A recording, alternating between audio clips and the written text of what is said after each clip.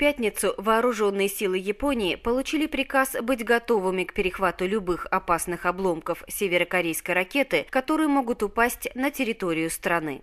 Пхеньян говорит, что спутник запустят не раньше 4 апреля. Он пролетит над Японией, и ступени носителя упадут к востоку и западу от японской территории. Региональные власти полагают, что настоящая цель состоит в том, чтобы проверить баллистическую ракету дальнего действия, которая может достичь территории Северной Америки. Как полагают, ракета Тайпондун-2 уже находится на стартовой площадке Северной Кореи. США и другие страны заявили, что испытание ракеты носит провокационный характер. По Конституции Япония не имеет права перехватить ракету, если она нацелена на другое место, но министр Японии Ясуказу Хамада заявил, что все необходимые меры уже приняты.